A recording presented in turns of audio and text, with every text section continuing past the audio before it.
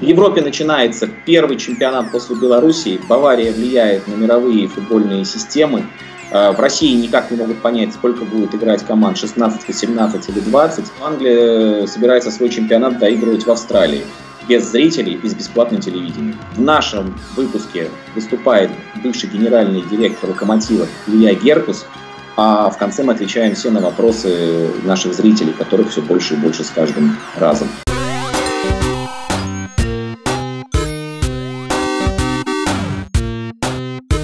Всем привет! В эфире четвертый выпуск коронабизнеса. Вместе с руководителем Международной школы спортивного менеджмента Максимом Белицким мы обсуждаем самые последние новости в мире спорта, причем их становится очень много. Максим, привет! Э, по сравнению с тем, что было на прошлой неделе, новостей стало уйма. Говорят, что мир остановился. Это вовсе не так, потому что Химки вдруг засобирались в премьер-лигу, хотя вроде как урезали состав. Англичане поехали в Австралию, в кавычках почти поехали, чтобы доигрывать там АПЛ. А с 9 мая уже безо всяких, как говорится, аннексий и контрибуций начнется европейский чемпионат. Совершенно точно. На Фарерских островах. И более того, э, права на трансляции местной лиги уже 12 туров купило норвежское телевидение ТВ-2. Причем, что они рассматривали покупку чемпионата Белоруссии, как это сделал Матч ТВ у нас, но посчитали, что по менталитету, там, по картинке им это не очень подходит. Обязали фарерцев местное телевидение обвооружиться дополнительными камерами, как, как они делают только при трансляциях кубковых матчей, там, решающих там, за чемпионство фарерцы стали брюзжать, что вот сейчас мы все это сделаем, потом про нас через неделю забудут после того, как подключатся другие чемпионаты, и мы будем э, в минусе. Но вот 12 туров норвежцы купили, и это, конечно, такой ура-ура прорыв. Э, при этом у нас вообще, получается, было 16 команд в, в российском чемпионате, а сейчас их сколько будет? 20? Уже вот э, Чертанова просит, чтобы их стало больше. Да, не, Николай Ларин выступил на эту тему «Дайте нам поиграть», вызвал неоднозначную этим реакцию. И Ротор Химки вдруг оказались э, теми, кто должен повыситься в классе. Пока что еще виртуальной лиги. Давай слово тебе. А, интересное время, да, мы переживаем. А, сейчас э, все больше и больше из того, что ты сказал, и из того, что мы обсуждали, вырисовывается такое будущее футбола, в котором очень под серьезную угрозу становится спортивный принцип. Потому что и в первую очередь, что касается Чертанова, и что касается других лиг и других стран, мы все больше и больше становимся свидетелями того, что происходит неразбериха и нужен какой-то единый путь. А, надеюсь, что за этим наблюдает э, не только э, там большое количество министерств всяких да, и государственных структур в разных странах, но и УЕФА. Все-таки действительно Пьер де Гупертен, его идеи уже, а, к сожалению, устаревают. Что касается Чертанова, то а, я склонен, и уже, кстати говоря, не в первый раз это происходит, потому что есть замечательный клуб «Велес», московский, и Женя Шеленков, а, руководитель и представитель владельцев этого клуба, очень разумный человек. Извини, я Мы... тебя перебью. Я напомню, да. что клуб выступает в зоне Запад э, ПФЛ. Да, мы с ним обсуждали тоже в том числе и возможность перевоза вот такого вот опыта в какой-нибудь город, где есть э, либо возможность построить небольшой стадион, где есть, может быть, лояльность властей.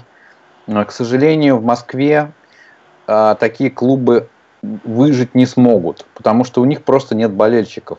И это должно быть очень серьезным критерием. Также, опять же, как КХЛ, где мы говорили, что Югру, например, не дали э, ей э, играть дальше в КХЛ, в том числе и по критерию интереса болельщиков. Ну, невозможно за год, два или три с нуля запустить э, десятки тысяч людей на трибуны, какой бы хороший футбол ни был. Единственный опыт, который я знаю противоположный, это, конечно, ФК Москва, потому что ФК Москва все-таки, ну, тогда еще были времена немножко другие, и все-таки за ФК Москва играли не собственные воспитанники, а довольно известные игроки, такие как Симак, Кузьмин, а, там, Раду Ребежа, приезжал Бракамонте, приезжал Барьентес. Это был ну, уровень, в общем-то, действительно пятого-шестого места как минимум, хотя они могли выходить даже в Лигу чемпионов. И в клубе работал было... Максим Белицкий. Ну, слушай, э, на самом деле ФК Москва без Максима Белицкого стала действительно серьезной угрозой для всех команд, вырастив кучу игроков, вырастив э, тренера Слуцкого в том числе, и большую плеяду специалистов, таких как Антон Евменов и Олег Яровинский, например. Да, но Чертанова, Велес – это классные проекты с точки зрения футбола, с точки зрения там, того, что, например, Велес – это частный клуб – но развиваться им нужно там, где может быстрее вырасти болельческая аудитория. Вот Тосно был примером, но Тосно уперся и в а, спонсорские деньги, к сожалению, и в отсутствие нормальной площадки.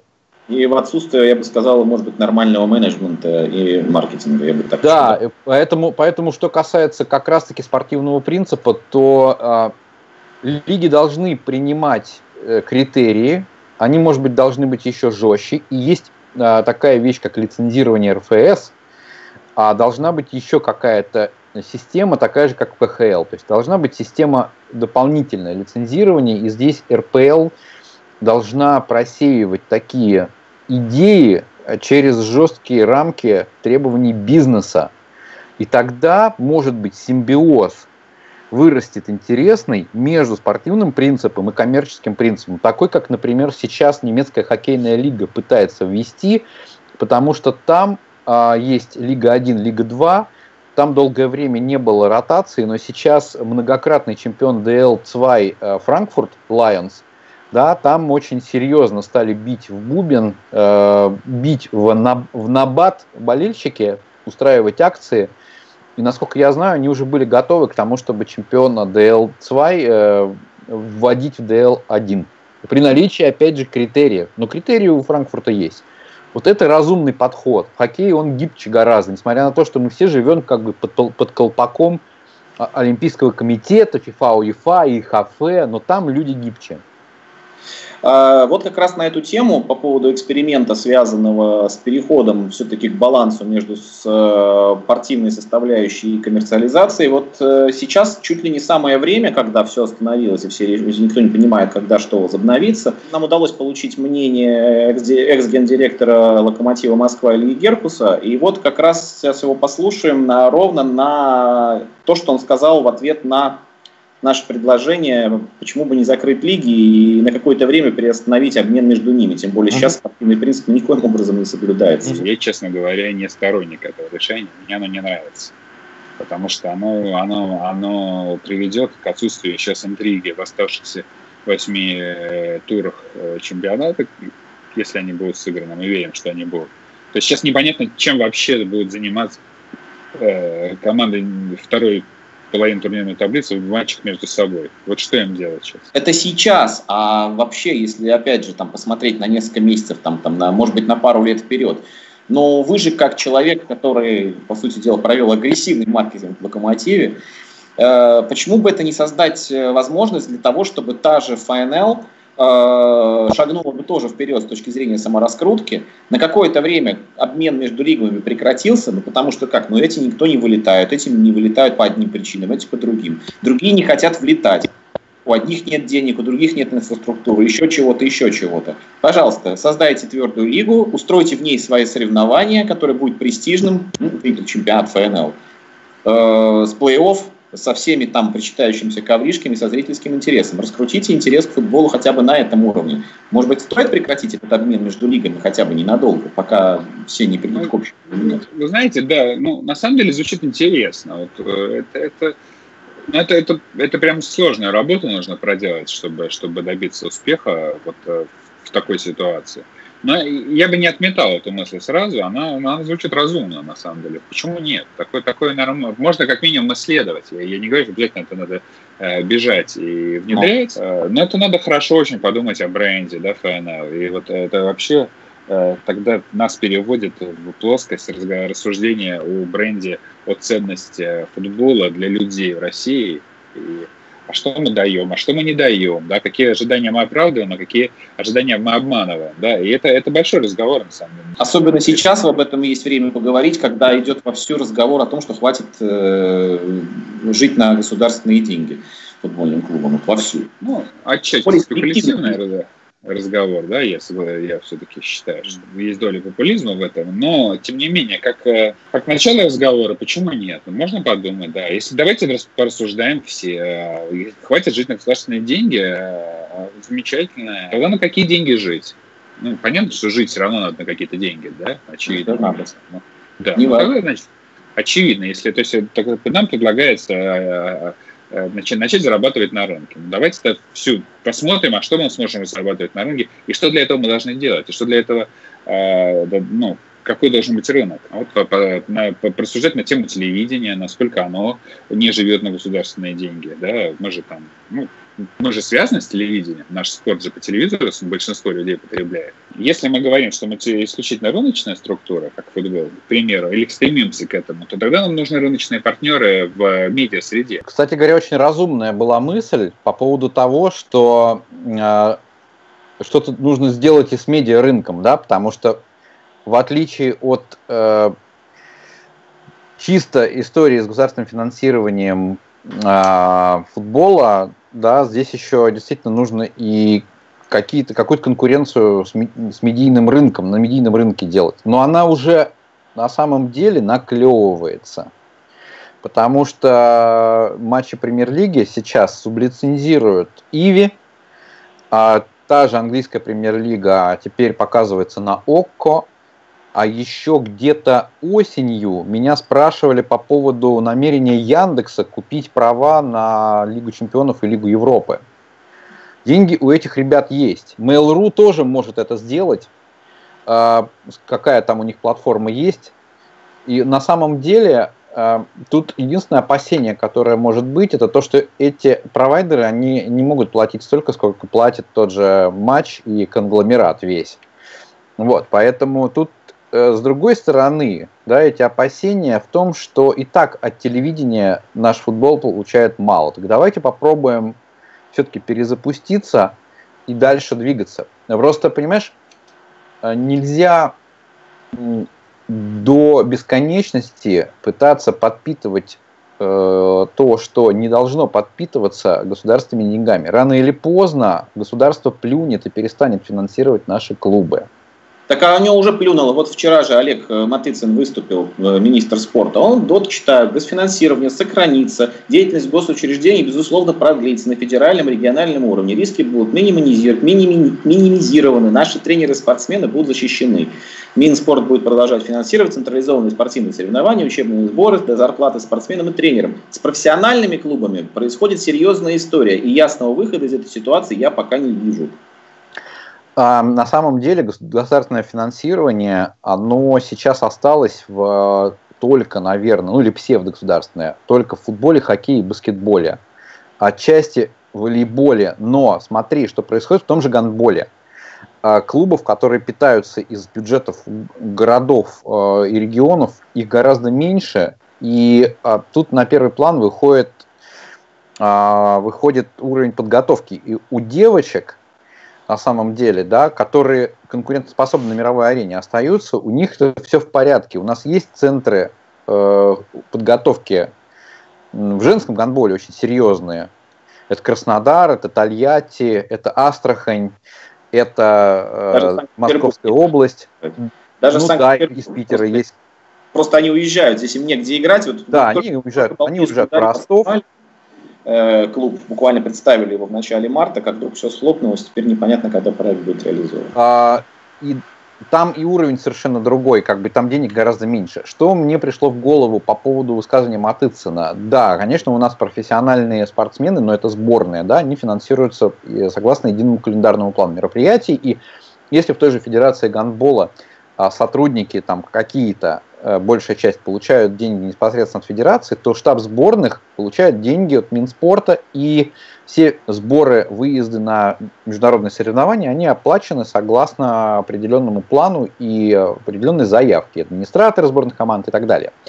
Э, мне пришла в голову мысль, что государство не может бросить в одночасье и госбизнес э, все клубы. Давайте скинемся и будем финансировать школы, будем финансировать инфраструктуру, будем инфра- э, финансировать консультантов из разных стран, из лучших, опять-таки, футбольных держав, но, опять же, это надо делать с умом, потому что все, что происходит у нас, это у нас не умеют пользоваться услугами э, консультантов, потом говорят, что эти консультанты ничего не приносят, а на самом деле, как мне эм, прекрасно с позиции там, бывшего сотрудника Лагардер, мне прекрасно это видно, что главное, э, этот э, путь, он должен быть обоюдо э, выгодным, двухсторонним, и консультанты должны по-другому себя вести, но и с точки зрения заказчика, то есть там государственных структур, это все тоже должно быть гораздо гибче. Тогда будет результат. Он всегда будет, если подходить к этому с умом. Оставляем, например, на 5 лет финансирование в каком-то объеме, и через 5 лет спрашиваем, что выросло, и постепенно снижаем этот уровень финансирования так же, как это будет, по крайней мере, подразумевается, с федеральными стадионами, которые были построены к чемпионату мира. С семи штук. Э, это Екатеринбург, Волгоград, Нижний Новгород, ну, те самые, кроме Сочи, Казани, Москвы и Питера. А, поэтому это, это разумный путь, хотя, конечно, много э, кто говорил, что такие суммы отдавать на содержание стадионов по 500 миллионов рублей на стадион в год, это катастрофа, это очень много, что это растащат. А вот дальше, когда там 20 какой-то год будет, 22 или 23, дальше они уже будут выплывать самостоятельно как-то. Вот э, нужно все равно окунуть э, наш бизнес в ту сферу, ту среду, из которой э, будет очень сложно, но возможно выбраться. Э, в общем, сейчас э, много будет кипеть возмущенных разумов относительно того, что по делу ли Ротор Хинки влетают в высшую лигу, по делу ли там остаются там те, кто занимает последние места не так давно. Главный тренер Ахмата Игорь Шаримов чуть ли не возопил о том, что он будет рад приостановлению турнира, потому что в таком случае его команда не вылетит. Но дело в том, что все это происходит не только у нас, потому что во Франции начались, началась революция, термидоры, журминали, потому что сезон они приостановили, вообще остановили, зафиксировав э, те позиции, какие есть. Э, Леон уже, который со своего седьмого места э, пытается подавать уже в суд и подаст, я абсолютно уверен. Месье Оля никогда в жизни не отпустит это, президент клуба. Даже, что уж там Леон, он Амьен, который там, всего там, по-моему, в четырех очках от предпоследнего места и, от, и имел все шансы удержаться. Теперь он полетит во второй дивизион. Кто будет эти издержки покрывать теперь? Э, потому что он вылетает туда не по спортивному принципу. Опять, а. спортивного принципа, опять спортивный принцип нам все мешает. А в НХЛ, например, возобновят чемпионат летом и э, плей-офф проведут, все закончат, а зато новый сезон стартует с декабря. Они вообще гибкие, им плевать на всех, они в локаутный сезон, я помню, это был 94-95, они просто сыграли там по 40 игр и все, и был плей-офф. Никто никого ничего не спрашивал. Почему бы так не сделать сейчас? Сделайте две группы, в конце концов, э, в сезоне 2021. Пусть сыграют между собой, потом будет финальная пулька или плей-офф. Чего мешает это сделать? Слушай, но это все-таки действительно получается перенос одной модели моментально на другую. Так, наверное, все-таки не получится. Потому что у них есть и потолки зарплат, которые мы с тобой обсуждали в прошлый раз, и которые мы сейчас с тобой продолжим обсуждать, потому что главу управления Фортуна Дюссельдорф вдруг поддержал и вдруг в кавычках, э, Карл Хайнц Румениги, да, который ты уже сказал буквально вчера, что, ребят, надо бы уже пересмотреть все движения, какие происходят в мировом европейском футболе.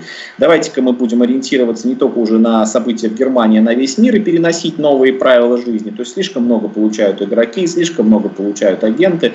Так что глава Фортуны Дюссельдорф не такой уж э, смешной дядька оказался. Он Там, кстати говоря, еще и не только высказывался Румениги, а помимо Рёдгермана высказались еще и в Бремени. Кстати говоря, Дюссельдорф это не такая уж и деревня, это мощнейший это город, это крытая арена. И не, несмотря на то, что они по спортивному принципу э, очень часто оказывались во второй лиге, да, э, это очень мощный регион, и э, арена очень крутая.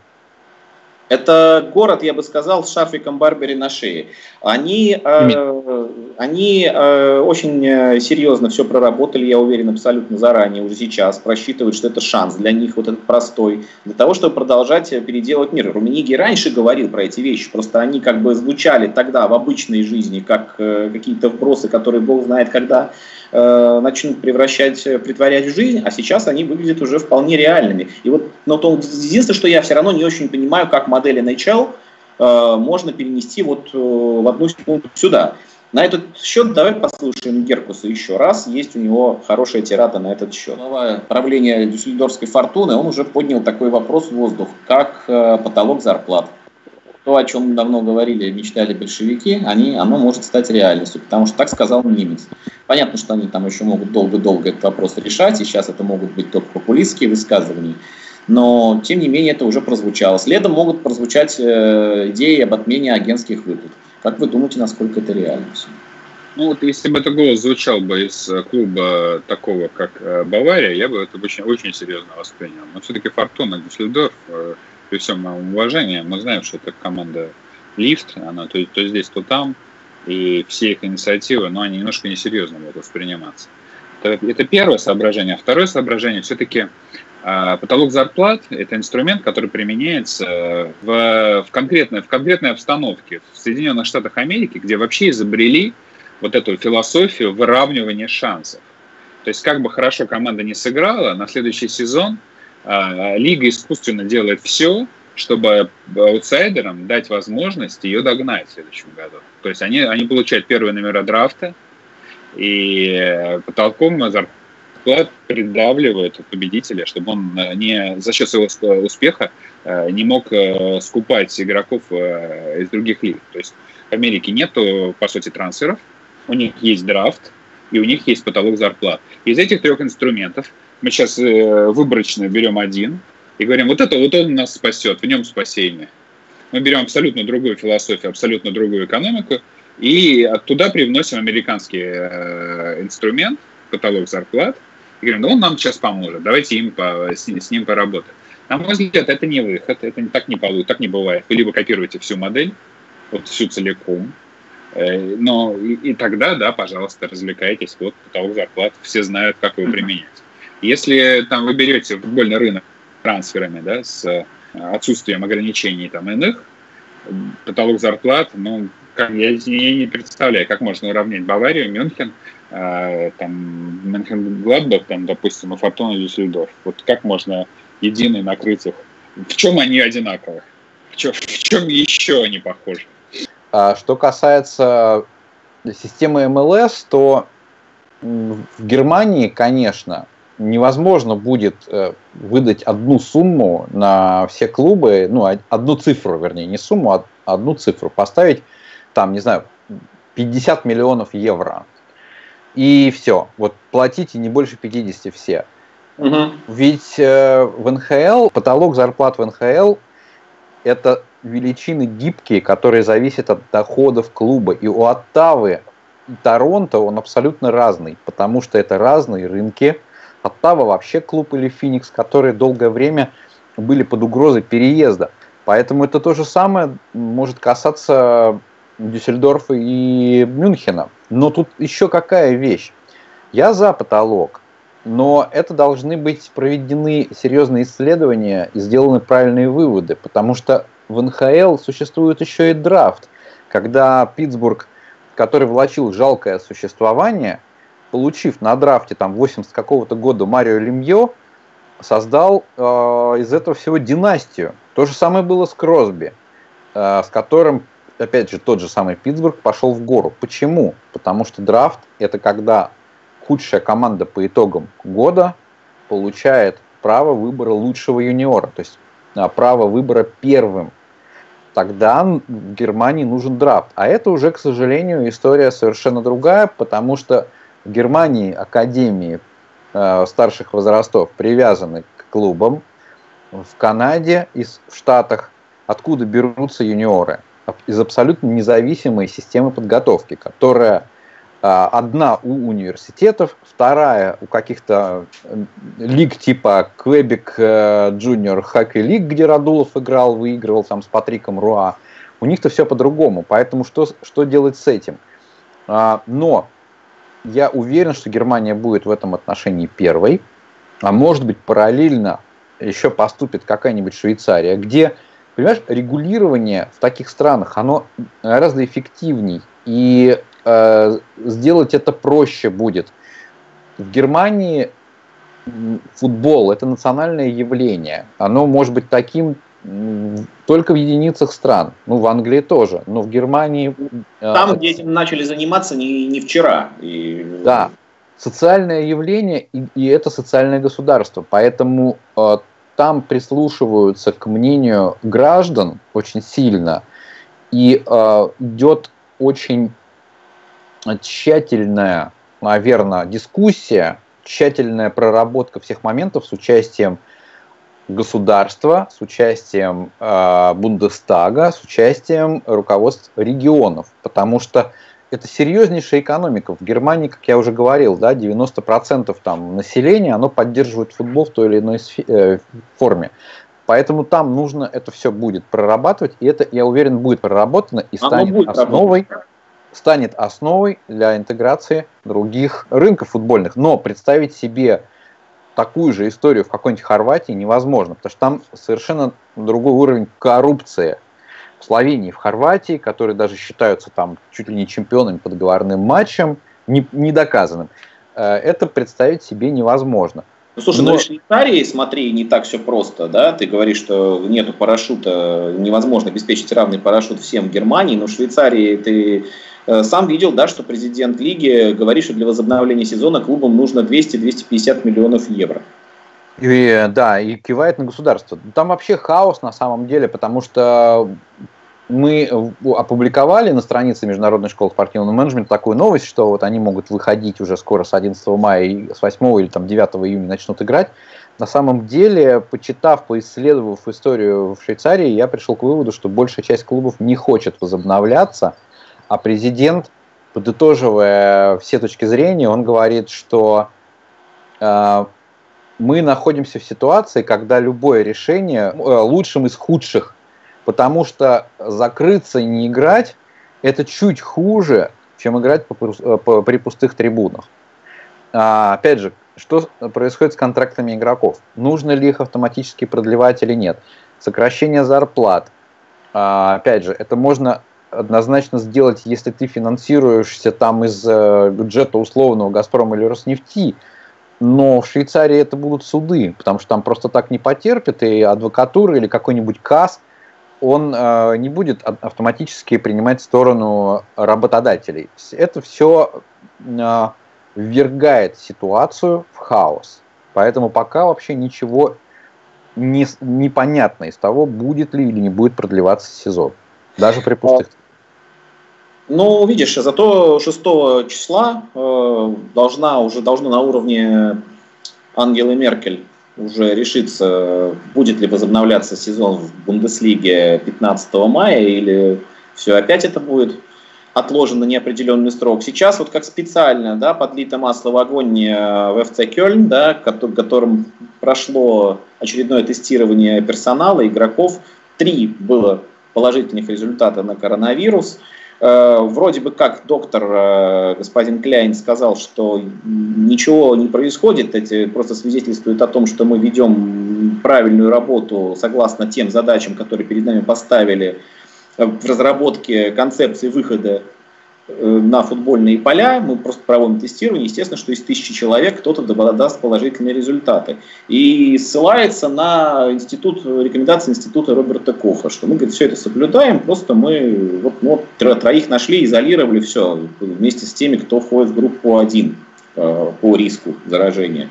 Да и все было бы хорошо, если бы один из футболистов э, ФЦ Кёльн, бельгиец Ферстрата, сегодня вдруг не сказал, что, не, ребят, я не понимаю, я боюсь я не хочу играть в футбол, я не думаю о футболе. Почему у меня вот, вот я с этими людьми тренировался, с физиотерапевтом я тренировался, у которого это выявили. Как вы, вы вообще себе представляете возвращение? То есть раскол пошел даже уже не просто в ассоциации, а уже в футбольном клубе. На самом деле у Ферстрата девушка, его подруга, она, у нее хроническое заболевание сердца, он переживает за это. Но, тем не менее, это прецеденты, на тысячу игроков найдется еще какие-то там их родственники, друзья, знакомые, у которых есть какие-то проблемы со здоровьем. Не кажется ли тебе, что 6 мая ничего не будет принято? Ну, тут еще есть еще, есть еще фактор, конечно, давления на общественное мнение, есть еще фактор реакции самого общественного мнения, то есть реакции болельщиков. А, насколько я понял, потому что я читаю, а, что я ожидал худшего, худшей реакции вообще у футбольной общественности в Германии, чем на самом деле. И прочитав информацию про троих зараженных футболистов Кёльна, я понял сначала, что все, это конец, ничего не будет. Угу. Но я читал заголовок, а потом, когда я вчитался и посмотрел другие новости, я понял, что все под контролем, пока. Вот. Что касается Ферстраты, то, э, конечно, человек имеет право, и я думаю, что в таком цивилизованном мире, как Германия, никто не будет кидать ему в э, спину помидоры, а наверняка примут во внимание его психологическое состояние, потому что, как ты знаешь, в Германии э, очень вовремя выявляют всевозможные отклонения, особенно, опять же, так же, как и в КХЛ, помнишь, мы с тобой обсуждали, что КХЛ, ее репутация и забота об игроках и об инфраструктуре э, результат трагедий. В Германии то же самое, как ты знаешь. Роберт Энке, который покончил жизнь самоубийством. И теперь в этом отношении очень внимательно поступают все футбольные функционеры. Поэтому с человеком, я думаю, разберутся в хорошем смысле слова. Я верю в то, что у Кёльна и у руководства, и у Бундеслиги найдется способ и репутационно, и фактически это все двинуть в нужном направлении. А, действительно, меры принимаются очень серьезные. Я постараюсь к следующему разу а, узнать мнение наших коллег. Вот. И, возможно, кого-нибудь да, вы, выведем в эфир, потому что есть люди, которые имеют к этому отношение, и близко к клубам, сам ты понимаешь, тот же самый Лагардер, он обслуживает по спонсорству и Дортмунд, и, кстати, в Дюссельдорфе у меня работает коллега в э, Фортуне, тоже в коммерческом отделе, который работал за Гардер. И э, у них очень много интересных инсайтов, наверняка поделятся. Есть определенное мнение на счет возобновления турнира Бундеслиги и Уилли Гербс. Он считает это чуть ли не фонарем в темном царстве. Давай послушаем, как он выскажется на эту тему. Э, чем, опять же, хорош шаг Бундеслиги? Тем, что Бундеслига о себе заявляет как о первом возобновившемся, и к, нему, к ней будет приковано все внимание, всего человечества. Но я не сомневаюсь, всех любителей футбола, они соберут все сливки. Ну что еще смотреть? Ну скажите, ну мы будем смотреть сами, но я, я прям буду ждать. Вы знаете игроков, вы смотрите белорусскую лигу или там какую еще, вы не знаете, что это. Ну там часть команд я, я первый раз услышал, уже знаю, что они существуют. Да, уже да, но Бундеслиге вы знаете игроков изначально, знаете, знаете основные команды, это, ну, больш, ну, большинство знаете по, по составу, поэтому, ну, ну, не большинство, там, половина. Если, если говорить о Беларуси, это, это что-то такое, там, а, знаете, там, а, экзотика, то Бундеслига это вот оно. Это в Лиге Чемпионского некоторые уровни будут матчи. Конечно, мы все будем смотреть. Поэтому я думаю как раз, что премьер-лига английская, она тоже возобновится, безусловно. Они сейчас на, они на все пойдут, но они сыграют. Илья Геркус сказал, что Англия возьмет пример с Бундеслиги, потому что там теряются тоже очень большие деньги. Англия уже буквально, использовав рупор, вот этот вот, который у меня, если не знаю, видно за плечом, висит. Видно. А, да, они написали, что англичане поедут в Австралию, будут играть в Перте, а, в Западной Австралии, где уже практически нет не то что больных, даже зараженных, что там все хорошо и здорово. Это город Перт, там четыре стадиона, один из них огромный, построили совсем недавно, действительно новая такая огромная кастрюля. Э, насколько ты думаешь, это не похоже на историю с UFC? Ну, смотри, The Sun это, наверное, не самое авторитетное издание, да, оно скорее такое хайповое, развлекательное, поэтому надо посмотреть развитие ситуации, кто подтвердит, кто опровергнет. Вот. А что касается рупора, то я еще где-то году в 2013-2014 э, поднимал вопрос э, среди своих коллег в Легардер, опять же, в компании, которая кормит немецкий футбол, наверное, больше каких-то других. Я имею в виду, кормит не, не так, как кормит там ее Deutsche Telekom или Evonik, а кормит, потому что несколько тысяч спонсорских контрактов в год заключается и контрактов на гостеприимство. Я им сказал, ребята, в России Бундеслига не популярна потому что а, она плохо раскручивается. А, и несмотря на то, что Бундеслига несколько лет назад запустила а, платформу Бундеслига International, пока все-таки в мире не видно, что эта лига сильно поднялась в плане ее промоушена. И вот в этом как раз-таки сейчас я вижу, с одной стороны, недостаток, а с другой стороны, это очень большая возможность я очень надеюсь, то, что немцы вот этот свой консерватизм немного преодолеют и действительно начнут продвигать лигу как надо. А это лига, в которой есть абсолютно уникальнейшие ценности, которых нет ни в одной другой лиге мира. Это и толерантность, это и отношение болельщиков сознательно, это вообще отношение общества, это и а, способность не заходить на какие-то опасные территории с точки зрения не взращивать кумиров. Потому что даже про Юргена Клопа, э, его книга, кстати, порекомендую всем, она на русском языке вышла где-то в 2018 году Элмора Невелинга, его э, неофициальная биография. Там есть интервью его имиджмейкера, который говорит, что в Германии не принято делать кумиров. Так вот, сейчас, э, мне кажется, разумная, добрая, вечная Бундеслига должна начать сеять и поднимать тем самым свой коммерческий потенциал в мире. Не только за счет э, выступления Баварии, но и за счет вообще общего имиджа. А что касается, кстати, прошлого вопроса, который ты задал а, относительно Румениги, тут еще одна мысль в голову пришла. Бавария, как ты знаешь, несколько лет назад приняла курс на более пристальное внимание к молодым немецким игрокам. И э, сделала серьезный шаг вперед в этом отношении, показав, опять же, тому же Дортмунду, который отстает от нее, что э, нужно лучше работать со своими игроками и приглашать э, действительно молодежь, а перестать обращать внимание как раз-таки на, на зарубежные рынки. Хотя молодые английские футболисты это, конечно, тренд, но тем не менее мы видим, что Бавария привлекает Нюбеля, а Бавария привлекала в свое время а, Никласа Зюля, а, она окучивает Вердер, э, Вернера, она окучивала и привлекала ну, человека, который уже давно сменил несколько клубов, э, Руди. С другой стороны, Рената Саншес не заиграл. То есть э, Руминик на самом деле он визионер. Э, и дело тут даже не в том, что это Бавария. Кстати, Руминигин вообще представитель Вестфалии. Человек родился в Липштаде. Липштад, да. Вот, да, поэтому э, на самом деле его, к его мнению нужно прислушиваться, но он такой не один. Это правда. А, кстати, видишь, Англия зато захотела тоже теперь быть более человеческим лицом, и они предлагают теперь показывать АПЛ бесплатно, если они будут играть в Австралии без зрителей и вообще вот в этой совершенно э, странной обстановке. Ну, посмотрим, посмотрим. А, Бундеслига Нам... тоже собирается играть бесплатно, э, показывать матчи бесплатно. Я понимаю, поэтому Англия хочет действительно пойти, э, ну, сделать свое лицо более человеческим. И у Sky, кстати, есть бесплатный канал, э, уже запущен там в этом году или в прошлом сезоне 19-20 или 18-19, у них есть бесплатный канал. Есть Sky News, они могут по Sky News показывать. И они собираются, кстати, заставить игроков давать интервью во время матча. Вот это футбик нас ждет, конечно. Это уже что-то с чем-то. Нам пора переходить к вопросам. У нас такие есть.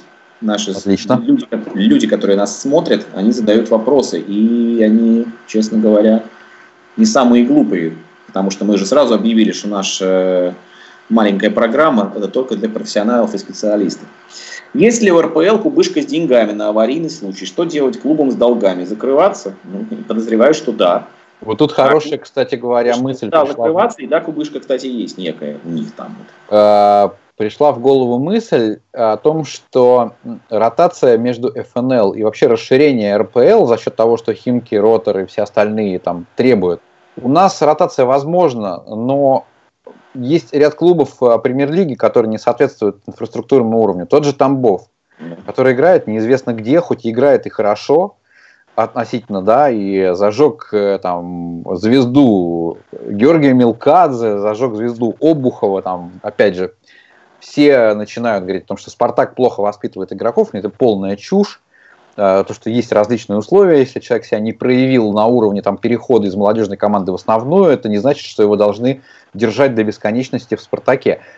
Кубышка, ну, она, конечно, есть у кого-то, но, думаю, в, в целом у лиги Кубышки какой-то нет. Кубышка пойдет, наверное, либо из РФС, либо из э, государства. Но ну, да. Да, РФС получит деньги от, от ФИФА, но опять же, это не такие деньги, чтобы питать клубы РПЛ. Да. Поэтому, ну, давайте избавляться от самых высокооплачиваемых игроков. Это нормальный путь, цивилизованно. Не знаю, контракт э, можно через суд расторгать, а это все подсуетятся, сделают. Ну да, может быть, тем более мы получим МРОД от ФИФА в размере 500 тысяч евро. И что, что это с этой кубышкой мы будем делать. А, вопрос, что будет с легионерами? Например, Бундеслига начинает играть, но там же не все немцы, не все границы открыты, и как им попасть в Германию? Что делать легионерам? Честно ли вообще играть в другом составе клубом, если ведь они тратили бабки на игроков, а выступать они не будут? Но э, речь, это, э, речь о том, что контракты сейчас меняются, да, у кого-то заканчиваются. То, что мы с тобой обсуждали в предыдущих выпусках, да, что же, э, как же им быть э, со своими составами. Насколько я знаю, по-моему, по, по крайней мере, я там читал тоже про Бремен, они все находятся в Германии в, в распоряжении, в расположении клубов. И я не слышал такого, что кто-то там засел, как Криштиану Роналду, и не хочет возвращаться. Но Криштиану Роналду это само по себе государство, это даже не звезда футбола, а это просто отдельное государство в мире. Поэтому он может финансировать армию. Да, поэтому ему это дано, а вот к счастью, в Германии нет таких футболистов, и от таких футболистов стараются избавляться, либо вообще их не привлекать, поэтому в Германии не играют ни Роналдо, ни Ибрагимович, ни Месси, при всем уважении, ни Агуэра, а играют совершенно адекватные люди, а последние игроки, которые там а, Бузили, это Бентнер, это Арнаутович, там, Илья, они уже давно в Бундеслиге не играют. Слушай, ну они дети по сравнению с теми, они были другие бузатеры. Бентнер просто пил, Роналдо же не пьет. Э, поэтому совершенно ну, другого... Тем не менее, государство в государстве в Германии не позволяют делать так же, как и культы личности, потому что это уже когда-то а, наложило печать вечного покаяния на немцев, и это логично. Я разговариваю со многими немцами, они это все понимают. Вопрос от Герхарда, Спортинского, не знаю, настоящее ли это имя, фамилия. А, если мы ограничиваем зарплату футболистам, где гарантия, что они вообще захотят у нас играть? КХЛ – это хотя бы крутая лига, а РПЛ даже не чемпионат Голландии. Э, если им и не платить, уйдут же. Куда им идти в чемпионаты Беларуси? Вот. Ну, разорвут контракт, а что? Неявка на, там, как это сказать, своя, к своим обязанностям не, не приступают футболисту, наверное, там идет автоматический разрыв контракта. Что, будут фиксировать, и все, не поедет э, играть, будет, значит, отчислен или там лишен премии, пусть, пусть судится. И понимаешь, э, на уровне премьер-лиги нашей нет такого игрока, который бы мог засудить клуб. Есть такие юристы. Ну, у нас есть юристы э, роскошные, но они будут работать на стороне клубов. Логично. Максим, мы хорошо с тобой поговорили, мощно. У нас сегодня еще к нам присоединился еще Илья Геркус даже, генеральный директор «Локомотива». У нас становится все больше просмотров, у нас становится все больше комментариев. И я надеюсь, что у Международной школы спортивного менеджмента станет еще больше клиентов. Э, кстати, как проходят сейчас твои онлайн терзания? А, у нас очень много эфиров, а, и спасибо также спорту день за днем за помощь э, в продвижении. И у нас есть действительно люди, которые интересуются обучением. Сейчас мы полностью перешли на формат записанных курсов и личной поддержки. И это очень э, хорошо экономически оправдано. Плюс у нас есть интерес от организаций. Мы прорабатываем различные варианты. А еще мы э, хотим запустить новый курс, пока не буду рассказывать о чем, но в данный момент идет очень серьезная проработка бизнес-планирования и формата. Я надеюсь, что мы к осени запустим очень интересный курс. А я надеюсь, что мы к осени начнем смотреть футбол. Ну, хотя мы уже через неделю с тобой обсудим первый тур на Фарерских островах. И даже с удовольствием. эксперта на эту тему. Спасибо тебе большое. Хорошей недели.